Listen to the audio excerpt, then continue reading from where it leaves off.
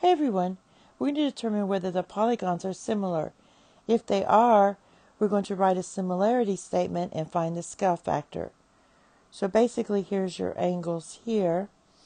And I could say 5 is to 6. And then we'll do this one 3 is to 4. Since that's not the same, these are not um, similar. So that's no for that one. Now let's try the next one. So the next one, we have, um, let's see, we're going to look at polygon P, uh, B, C, D, A. We're going this way.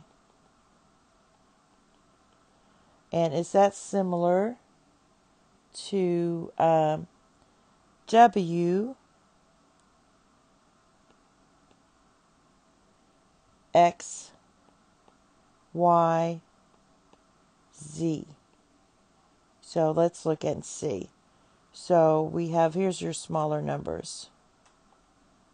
So since they're all the same except for those two numbers, let's look at that.